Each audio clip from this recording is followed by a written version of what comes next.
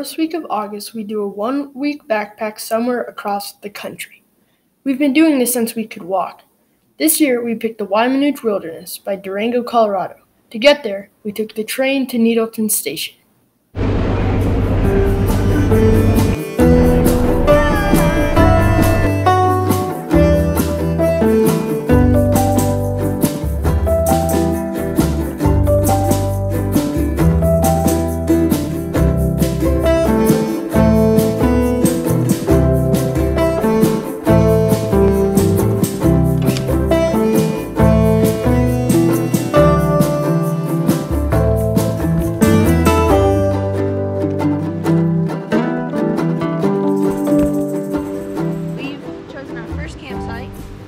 Chose this campsite because it was open. We had enough space for our kitchen and tents.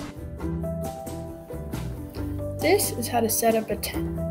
The first thing you want to do is find your tarp and, of course, your tent. Then lay out the tarp in the area you want to sleep. This place should be pretty flat and not right next to your kitchen. Next, lay the tent on top of the tarp and spread the tent out. It's okay if it's not perfect. Make sure the mesh part of the tent is on the top. Then get four stakes and put each one in a corner. Make sure they're pulling taut. Now get the pole and put it in the middle of the tent. Now you are ready to go.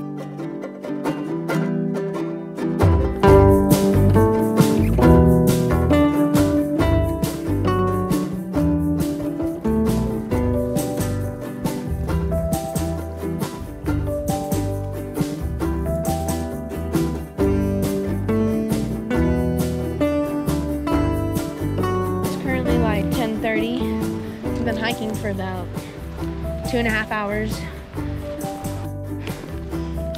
It's Mr. Simon. Simon.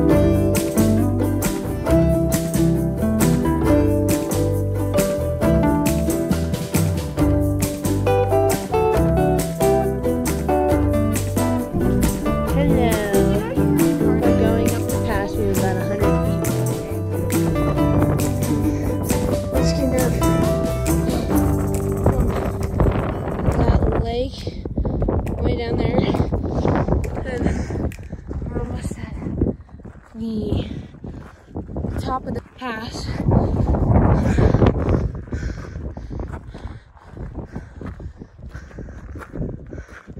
Unbelievable view.